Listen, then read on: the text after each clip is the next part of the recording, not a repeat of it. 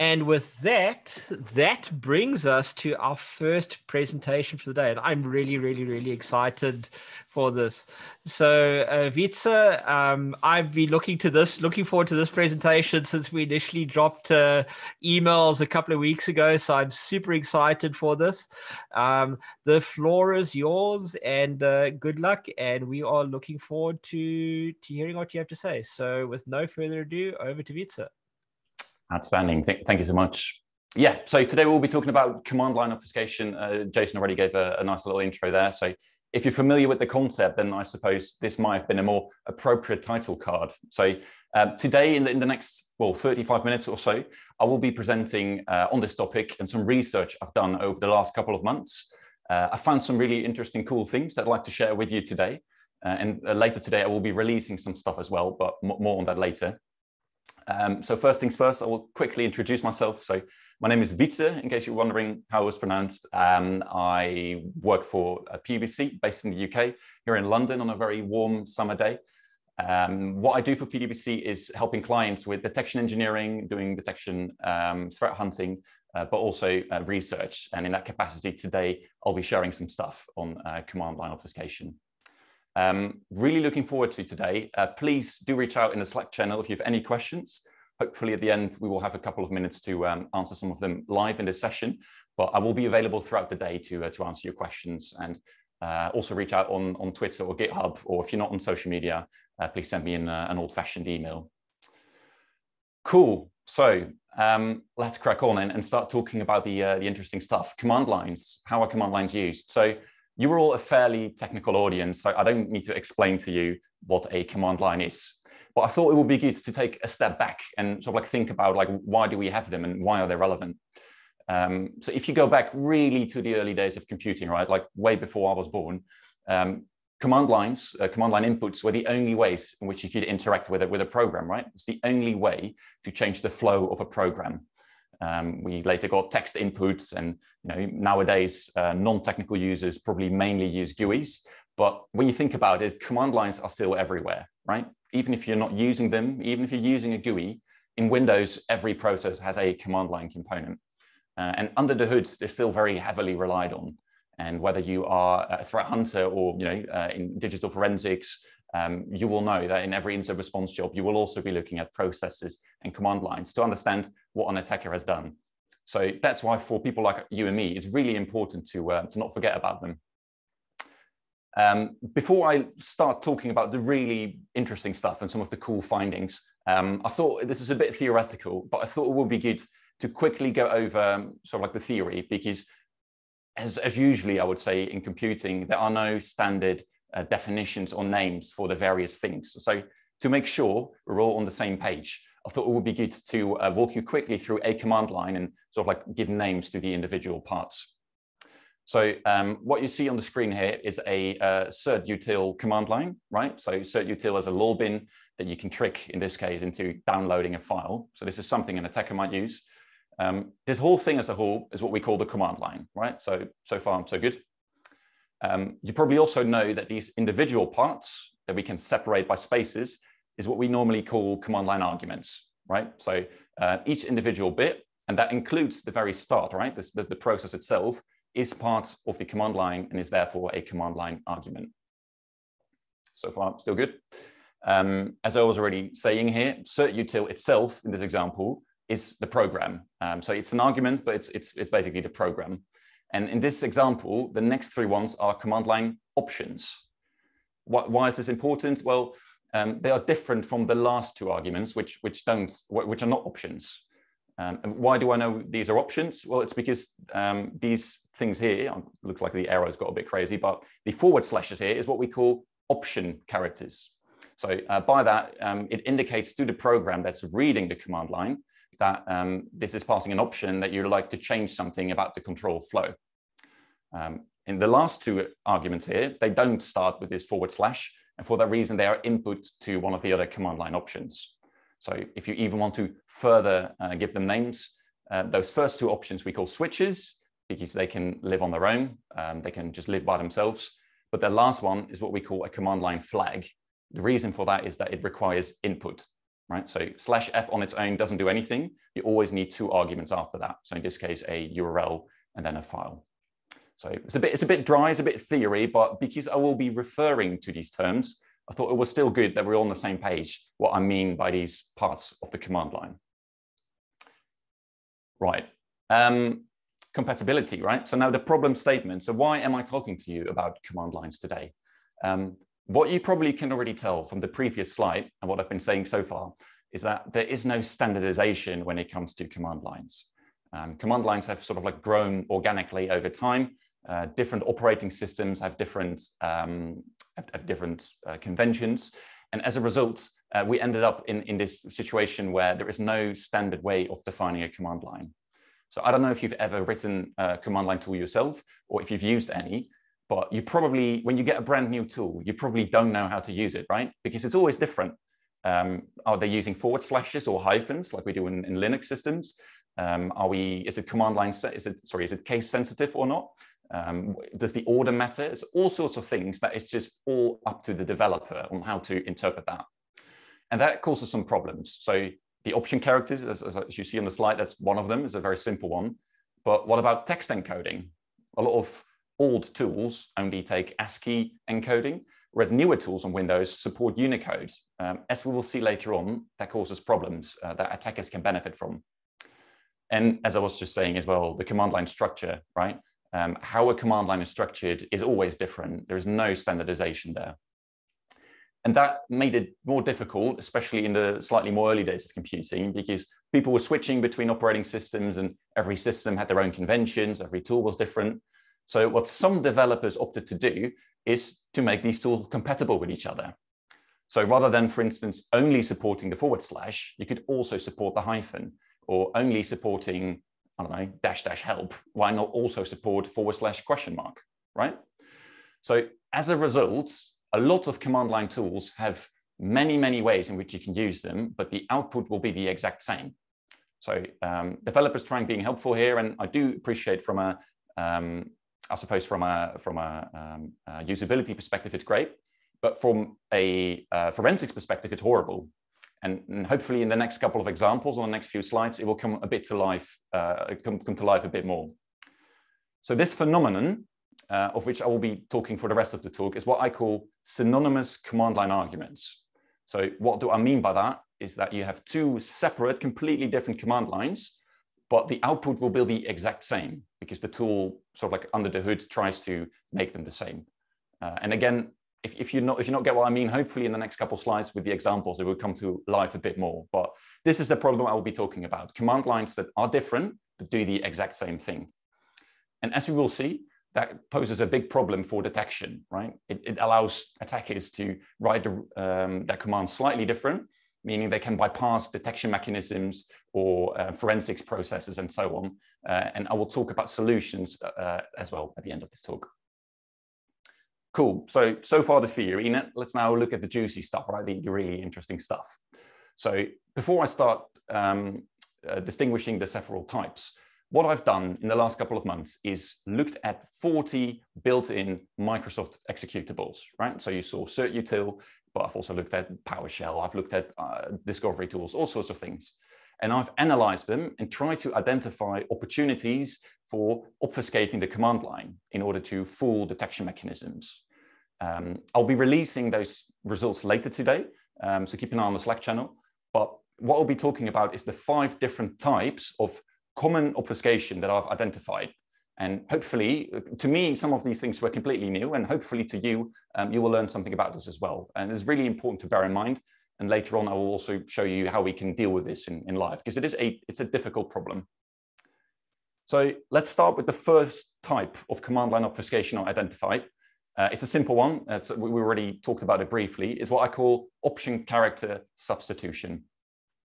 So basically, it is instead of using the normal option character, right, the sort of prefix, um, use a different one. So if you look at the uh, screenshot here, it's very simple, right? Uh, this is a ping command. It says ping forward slash n, then a one, and then an IP address. So basically, this command line is saying ping this IP address with one packet. Um, if you ask the manual of ping, the, the help page, this is how the, the top one is how it asks you to do it. Use a forward slash and use an N. Um, however, if you start digging and you try a couple of different things, it turns out that this particular tool also supports the hyphen, right? So if you look at that second uh, part of the screenshot, you see that if I do dash N uh, one, uh, the outcome is the exact same.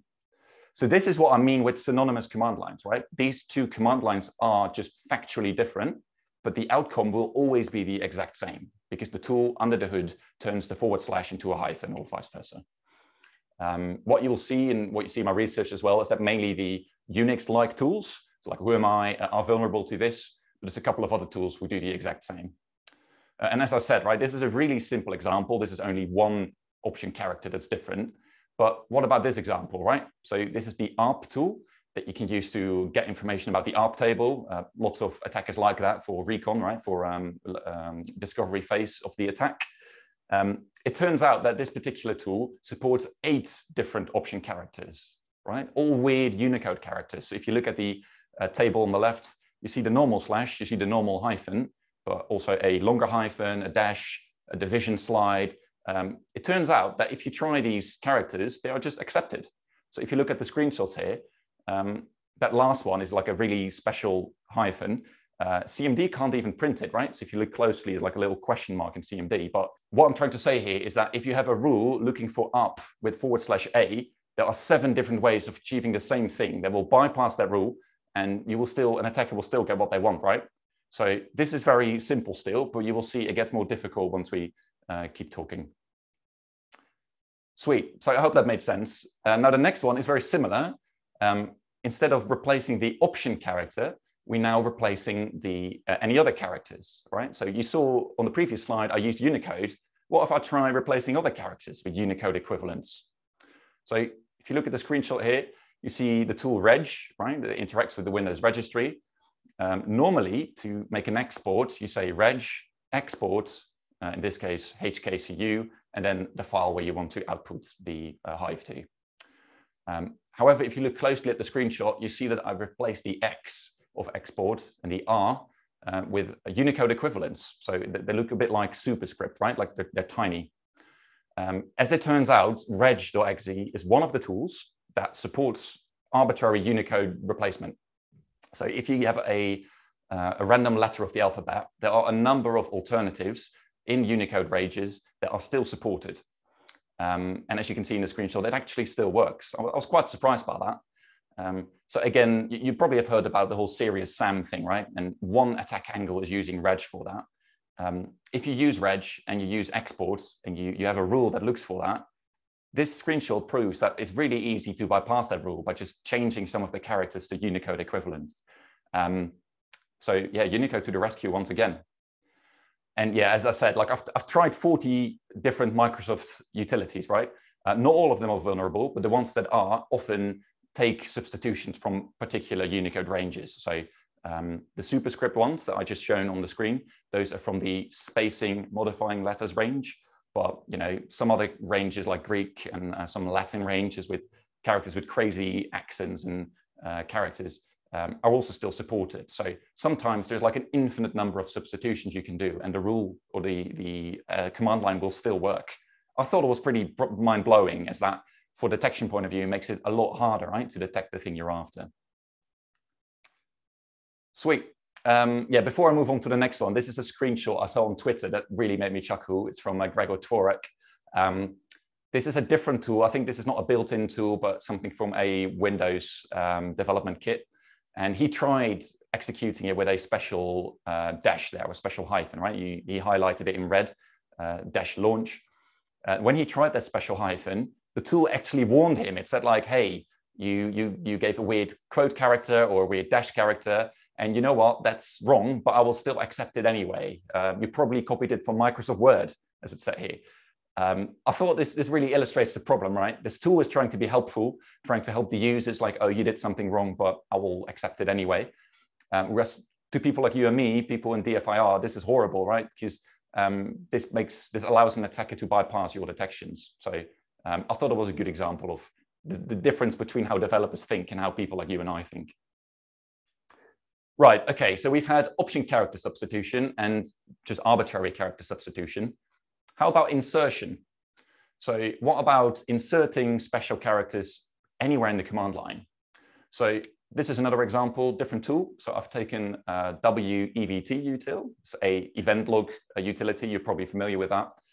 Um, what I was trying to do here is to show it the log information of the security log. So normally you say weft util GLI security. Uh, however, what I've tried here is just inserting character from characters from a special range. So these are Arabic characters. Um, and as you can see here, like CMD can't even print it, as again shows up as a question mark. But if you look in the notepad um, screen grab at the bottom, you see what the thing is that I actually, um, what I actually tried. And as you can also tell from the CMD execution is it, it actually works. So even though it doesn't say GLI, but it says G character L character I, um, util just filters it out and just accepts accepts the, the, the other thing. Um, again, not every executable is vulnerable to this, but again, there's, there's a substantial amount that just ignore specific ranges. Some of them um, filter out many, many ranges like util. There are also tools that just ignore a very small or narrow range, but still for attackers, this allows them to uh, manipulate the command line and potentially bypass detection mechanisms. Um, and this includes both visible characters like, like these ones, but sometimes invisible characters are supported as well, right? So characters that, um, if you print them, they just show as like a zero with character. Um, that makes detection even harder, right? So um, trouble here. Cool. So I, I, hope you feel like where this is going, right? The type of obfuscation I'm talking about and the problem it poses. Um, this is another one that you might be familiar with. It's very common. It's a quote insertion. So this is a special subtype of character uh, insertion in the sense that um, it has a requirement, and that's basically that the quotes have to appear in an even number, right? They have to occur in pairs. Um, what I found in my research, of those 30, 40 executables I investigated, I think probably like 37 of them uh, were vulnerable to this. So if you look at the top one is NetSH, once again, a different tool, you see that it, I inserted two quotes. And as you can tell, it still told me what these um, Windows firewall status was. And on the second one as well, I inserted even more uh, quotes and it still accepted it, right? So just more quotes really obfuscating the real keywords that you would normally look for, uh, and it just doesn't work. So yeah, as I said, this is really common. Most um, binaries are vulnerable to this uh, for a variety of reasons. But I do want to point out, because some of you might be thinking, okay, this guy is telling some interesting stuff, but I've heard about this before, right? Um, Daniel Bohannon has done some excellent research on what he calls DOSfuscation, which is in a, in a way very similar to this. But I do want to point out this is something different from DOSfuscation. DOSfuscation is only about commands, uh, the command prompt, right? cmd.exe, maybe a little bit of PowerShell. But what I'd like to point out is that everything I'm presenting today doesn't rely on CMD. So I know all the screenshots are taken from CMD, but if you execute the same thing with, say, Python or even with a custom malware binary, this would all still work. If you open this in Procmon or Proc Explorer, you would actually see those quotes there, or you would actually see those Unicode characters there. Uh, and to demonstrate that, I have a counterexample here of the quotes thing.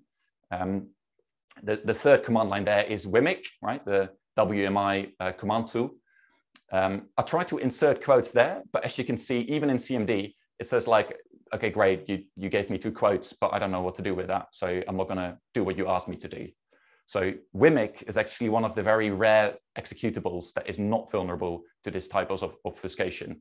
And uh, Wimic is actually quite strict. So of all the executables I tested, I think Wimic is the only one that wasn't vulnerable to any of these four types, or five types rather. Um, yeah, so I do want to point that out. This is this is an extension of DOSfuscation that goes beyond just um, CMD. Let me see if I can move it forward. There we go. Cool. So the, final the final one, um, shorthands. So you might be familiar with this if you've ever used PowerShell. You know there is an option that's called encoded command, which allows you to pass base64 encoded content, and uh, PowerShell will execute it for you. Um, so as you can see at the top one, I say PowerShell forward slash encoded command, and then some base64 stuff. Um, as it turns out, if you leave out the last character, it will still work. If it turns out you remove two of the last characters, it will still work. All the way down to only one character, slash E, will also still work. So um, you can't just say or you, you don't just have to say slash encoded command. You can also say slash encoded command or slash encoded comma, all the way down to slash e. Um, to some degree, this is what you see in, in Linux world as well, right? Where you often have like a, a short version like dash i instead of dash dash ignore. Um, but I think this is just, if, if I'm, in my humble opinion, this is just taking it one step too far, right? I don't think anyone is really benefiting from having what was it like 12 different options for the same command. Um, I don't think slash encoded co is more clear than slash enc, for example, right? So um, I think this is just a, a poor design choice. Uh, some people might benefit from it, but I think the sort of disadvantage for people like you and me is far bigger than the advantage for people who, uh, who might be relying on this. Um, cool. Before I start talking about um, the, the, sort of like the tools I've used for this and, and uh, how, how to prevent this from happening or like how, how to make sure you catch this in your own environments, uh, a special mention for these three binaries. So we got NSLOOKUP on the screenshot.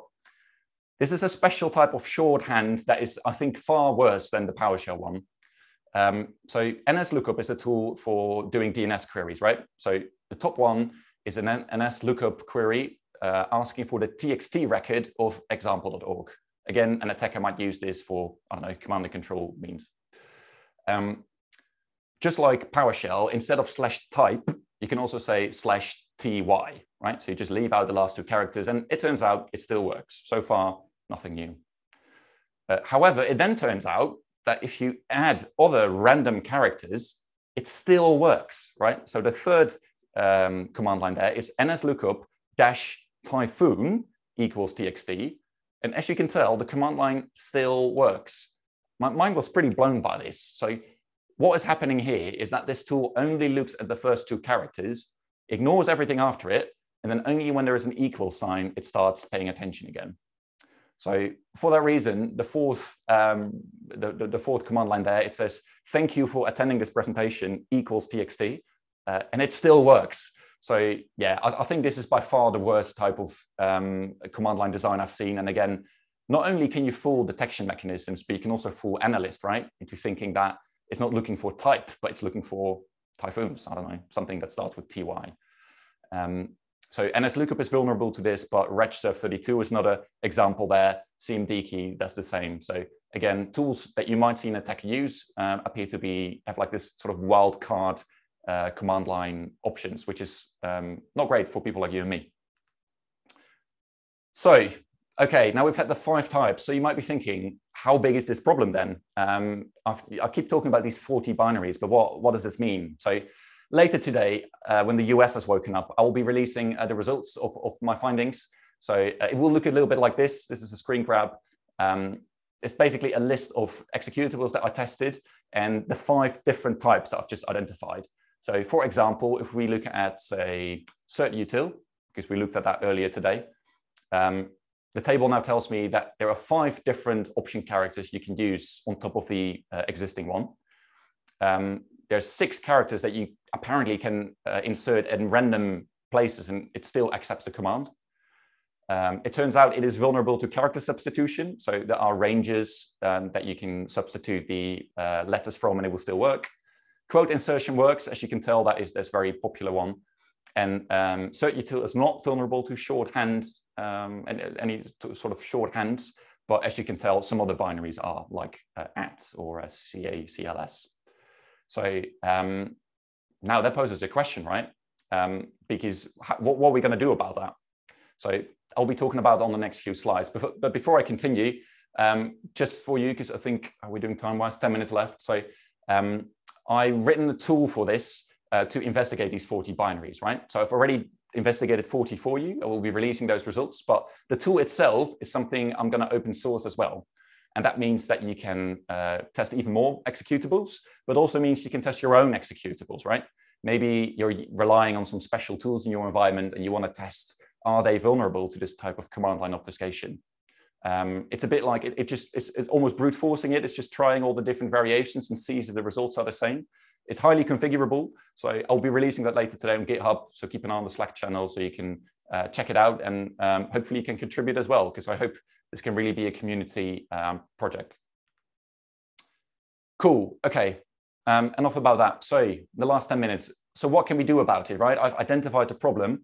Um, what does that mean? So detection is hard. We all know that. And whether you're a threat hunter or doing like forensics and incident response, um, it's, it's, it's, it's a hard problem, right? Like how do you detect something efficiently?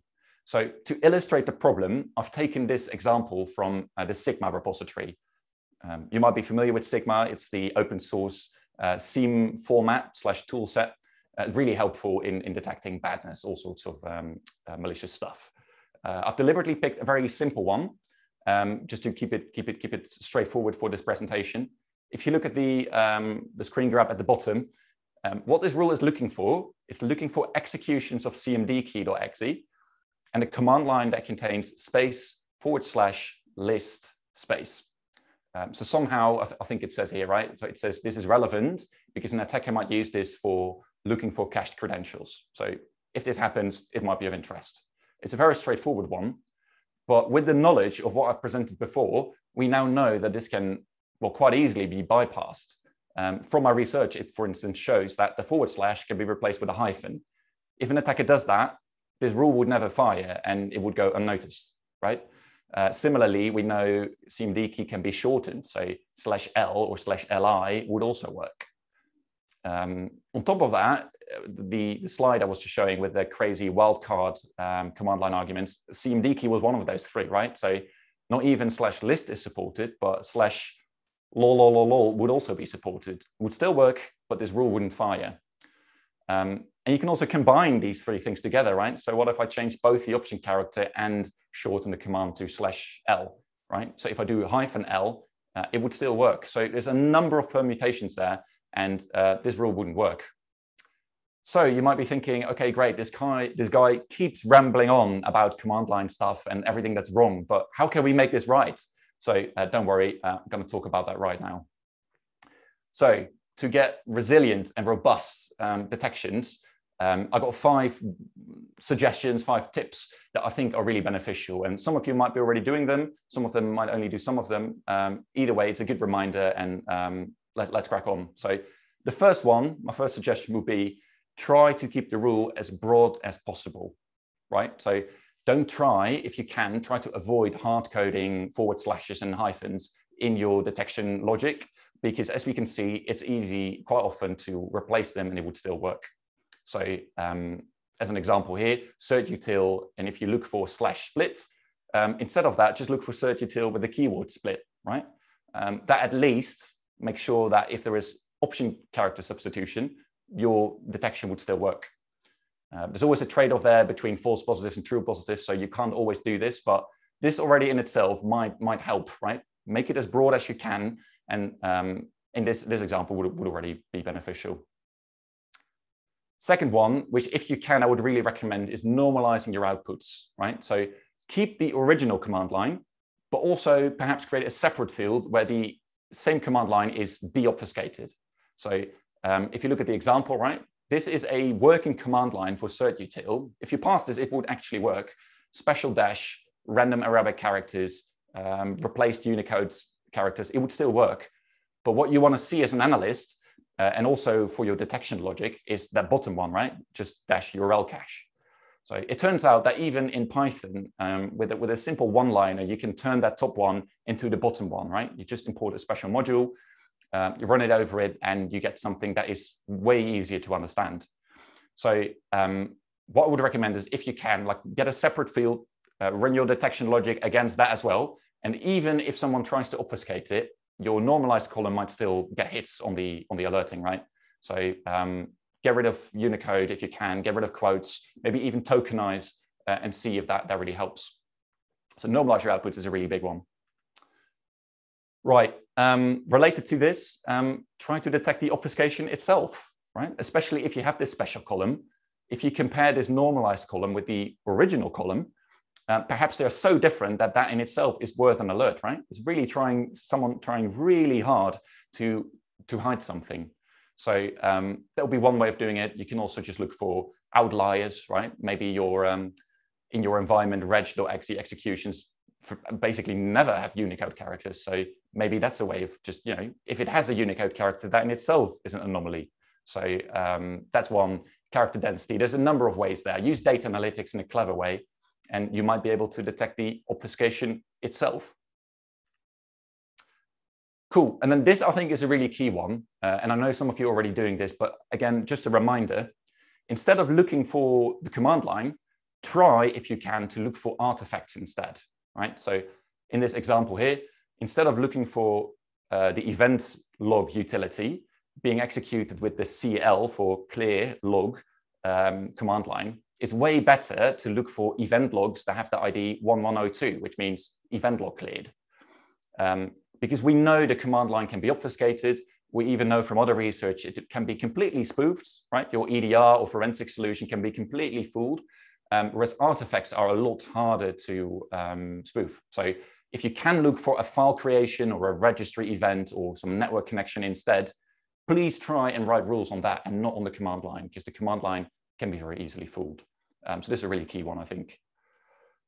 Right, and then the, the last one before we um, wrap up, um, it, it's not so much as a tip, it's maybe more a conclusion, is that we've seen today there's lots of ways in which you can bypass common detection and forensic uh, instruments, but just a reminder that you won't be able to detect everything, right? You won't be able to detect all the malicious stuff all the time.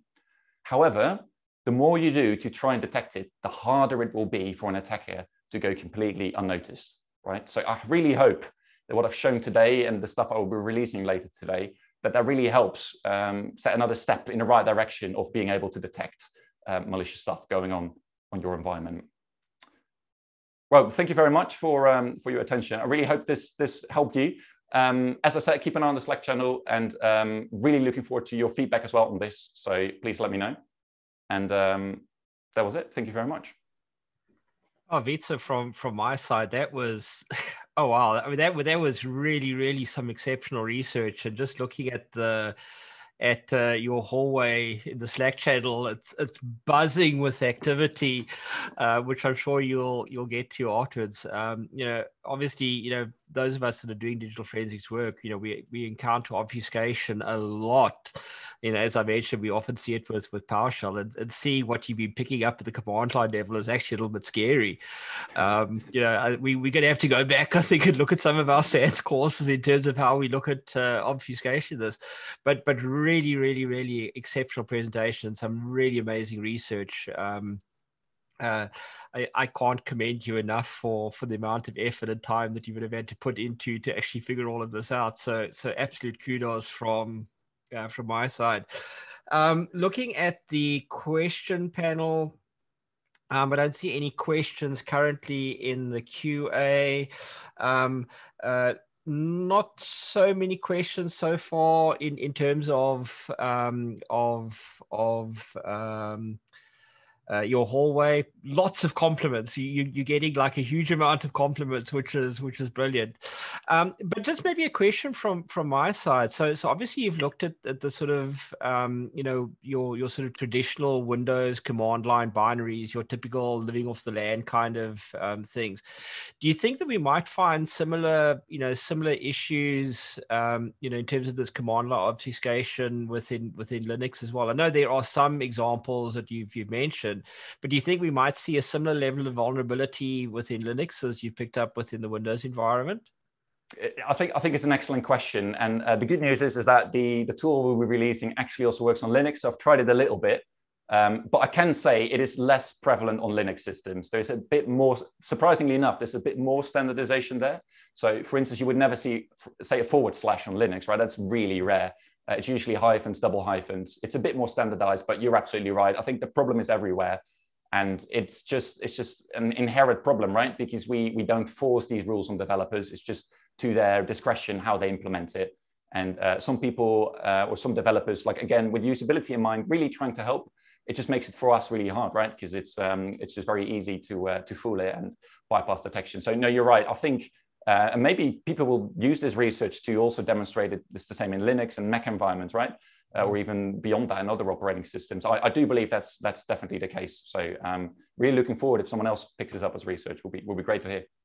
Yeah, I, I, I have a number of friends of mine who, who are, who are developers. because we all have friends in different areas of IT and uh, you know I, I, just look at i just look at some of the discussions we've had over the years you know things around input validation and, and things along those lines. And i think you know this this kind of talks to this as well. You know how we write code is is uh, is problematic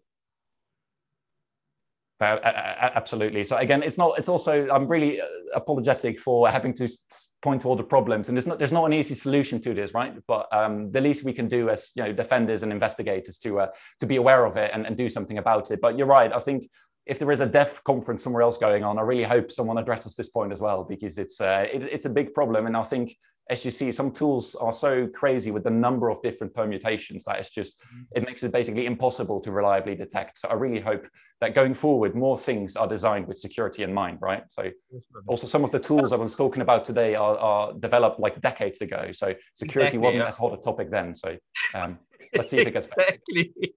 Um, yeah, this is. I mean, uh, just just from sort of a closing point. Uh, once again, guys, please uh, complete the evals for for Wietze's research.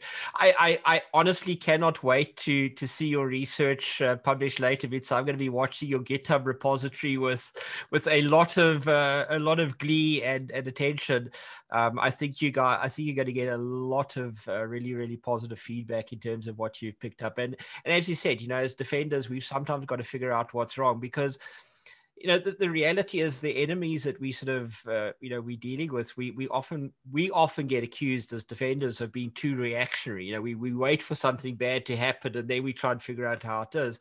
And i think what you've done is kind of identify some areas that we should actually be more sensitive to in our investigations for those attack groups out there who who may actually already be doing this and we haven't been looking at it because it's you know maybe a bit niche or, or, we don't know about it yet. So you've been sort of shining a, a light on a dark place um, which I think is really what we what we want from you know from any sort of uh, forensic investigation, which is absolutely brilliant. So yeah, so so Wietze from from my side, um, you know, on behalf of SANS, I just want to say thank you very much for an amazing presentation. Um, I, I'm I'm sort of going to be keeping my eye on your hallway channel while I'm listening to the next presentation, you know, from from Evangelos as well because it's really really interesting. Um, but yeah so from my side i'd just like to say absolutely thank you thank you thank you very much. A really amazing presentation. And uh, uh, i look forward to to um, catching up with you at some point in the future. So so awesome. Well done. absolutely. Thank you for the kind words and thank you for having me here today. It's really really, really a pleasure. And uh, also looking forward to to hearing from you community on, on the research and also seeing contribute to that uh, will be amazing. So thank you so much for giving me the opportunity. It's really a, really a great experience. Brilliant, brilliant, brilliant. No, that's perfect. Thanks, thanks very much, Wietze.